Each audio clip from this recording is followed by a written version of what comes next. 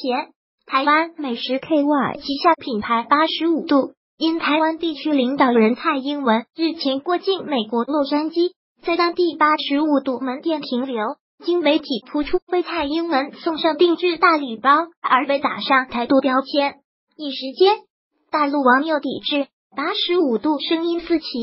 尽管八十五度紧急发出声明灭火，但网友并不买账。十六日，八十五度母公司美食 KY 开盘重挫，一度打入跌停板，股价创下一年半新低。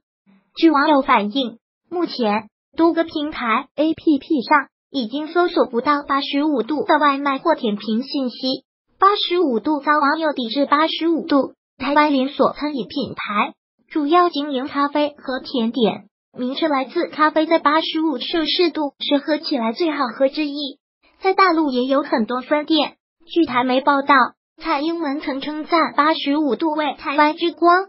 日前，蔡英文借口出访南美过境美国洛杉矶，访团车队经过当地八十五度门店时，蔡英文进去点了咖啡，店员们争相拿出印有八十五度字样。的报证要求蔡英文签名，对保团的莅临相当惊喜。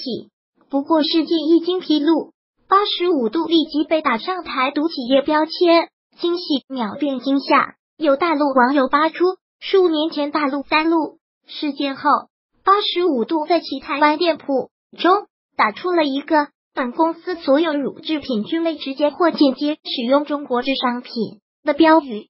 指控该公司一直在台湾把中国和台湾分对待，而不是视为一个整体。图片来源：环球时报。还有大陆网友发现，八十五度的官方网站中把中国归入了公司的海外据点，与美国、澳大利亚等国并列。图片来源：环球时报。八十五度发声明，母公司竟然这样说。求生欲旺盛的八十五度十五日。在微博和微信公众号平台紧急发表声明澄清，称对一行来访客人送出定制大礼包并非实情，是该店员工的个人行为。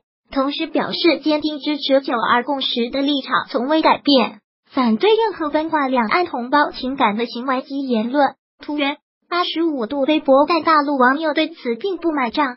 不知名的唐德超态度企业滚出大陆，为了个包却溜达。这么多奶茶店，还差你这一家，不得喝八十五度了 relevant。你到 Facebook 和 INS 上也去声明一下呀，大白爱吃花生。你们要真是支持九二共识、两岸统一的企业，我真不相信蔡英文会选出你们店里法老的睡前故事，请你去台湾圈钱好不好？我们都吃不起茶叶蛋了，怎么吃得起面包？同时，台湾网友也赚搞台独。又想赚人家的钱，还有台湾网友支招，干脆改叫九十二度。而就在八十五度在其大陆社交媒体上为自己辩解之时，其在台湾的总公司昨日发布的一则声明，算是为这家在大陆颇具人气的甜点店点上了一曲亮亮。该声明未提及九二共识，而是做出两点表态：一是企业也有责任要照顾好员工的压力。二是希望两岸和平发展，让商人可以努力拼经济。同时，声明针对八十五度大陆分公司提到，这是大陆分公司的个别做法，总公司对此不发表任何意见。也许是意识到这番表态过于直白，有可能招来大祸。随后涉及到八十五度台湾的总公司立场的报道中，都已将这是大陆分公司的个别做法。总公司对此不发表任何意见的表述删掉，但文章标题依旧显示了他们的立场。八十五度大陆门店贡献六成以上营收。公开资料显示，截至今年五月，八十五度在大陆共五百八十九家门店，拥有中央厨房及十一个物流中心。在台湾共四百三十五家门店，在美国共四十四家门店，均以加盟店为主。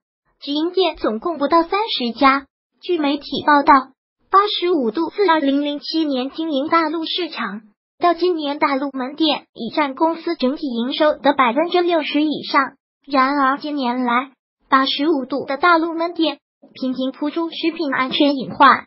媒体报道显示，今年八月上海八十五度城山八春店曾有顾客在店内奶茶内喝出一节电池。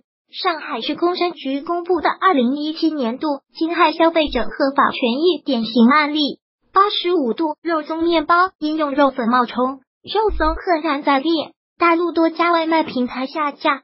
八十五度在一片声讨中，昨晚有网友反映，八十五度在大陆网络已被下架。